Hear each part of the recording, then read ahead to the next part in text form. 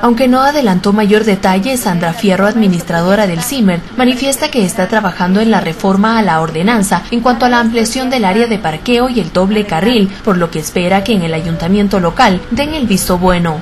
Estoy con la reforma a la ordenanza para ser presentada a ver que cómo se la acoge.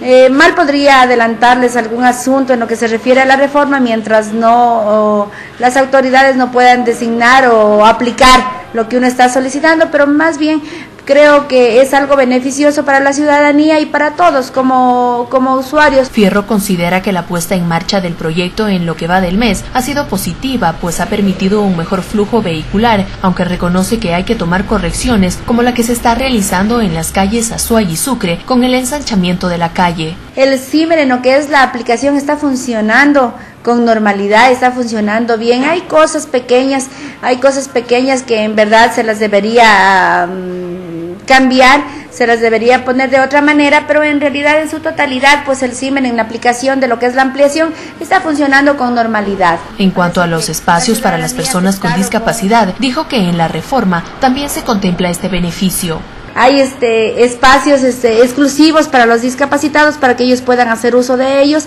en respectivos lugares de la ciudad. Se dice que el 2% de lo que es la señalización se puede utilizar como estacionamientos este, exclusivos para los discapacitados. Con imágenes de Patricio Orellana para Mundovisión, Claudia Román Galindo.